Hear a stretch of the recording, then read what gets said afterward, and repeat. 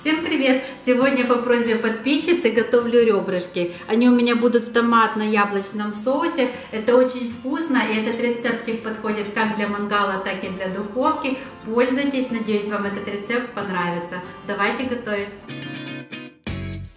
У меня есть 1 килограмм свиных ребрышек. Я их уже помыла, обсушила бумажными полотенцами и теперь нарезаю порционными кусочками. Перекладываем ребра в мисочку, в которой будем их мариновать. Теперь ребрышки нужно посолить. Ребрышки пока что отставляем в сторону и готовим маринад. Чашу блендера я выливаю одну баночку консервированных помидоров в собственном соку. Добавляю одну баночку пюре детского, пюре из яблок. Это пюре без сахара, просто покупаете в отделе, где продается детское питание. Наливаю 2 столовые ложки соевого соуса, 2 чайные ложечки меда. Мед можно не растапливать, потому что все равно мы все будем взбивать блендером. Всю эту смесь взбиваем блендером до однородного состояния. Добавляем все приправы по рецепту. Чайную ложку красного сладкого перца, чайную ложечку гранулированного чеснока и черный молотый перец. У меня здесь смесь перцев вообще-то тоже где-то чайную ложку насыпаем. И все хорошо перемешиваем. Можно прокрутить блендером еще разочек, можно просто лопаткой размешать. Небольшую часть соуса выливаем в маленький сотейник или кастрюльку. Здесь у меня получилось всего 600 миллилитров, ну вот где-то 250-300 я отдельно выливаю. Отставляем пока что в сторону. А весь остальной соус выливаем к ребрам. Все хорошо перемешиваем, чтобы соус хорошо распределился по ребрышкам.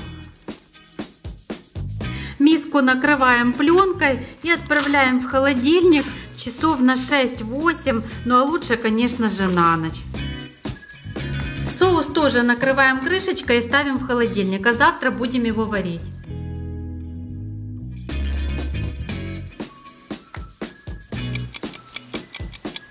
Ребрышки хорошо промариновались. Я выкладываю их на застеленный фольгой противень.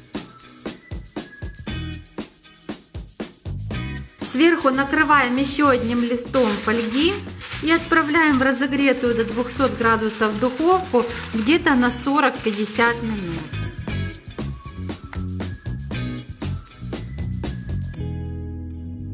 Пока запекаются ребрышки, я приготовлю соус. Я поставила на небольшой огонь вот эту кастрюльку, куда мы вчера его перелили.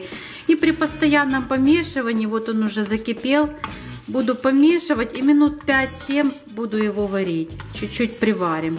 Прошло 40 минут, я достала ребрышки из духовки, сняла фольгу. Соус переливаем в мисочку и отставляем в сторону, потом будем туда макать готовые ребрышки. И немножко я оставляю здесь в сотейнике. Беру кисточку и смазываю ребрышки. А теперь ставлю в духовку еще минут на 20. При этом можно включить режим гриль. Ну вот ребрышки готовы, посмотрите, как красиво запеклись. Э, они получаются сочные, мягкие, сладковатые на вкус. В общем, готовьте по такому рецепту, посмотрите, даже в духовке можно сделать такие ребра, как будто бы мы их жарили на гриле. Просто красота. Пользуйтесь этим рецептом, подписывайтесь на мой канал, ставьте лайки. Пока-пока.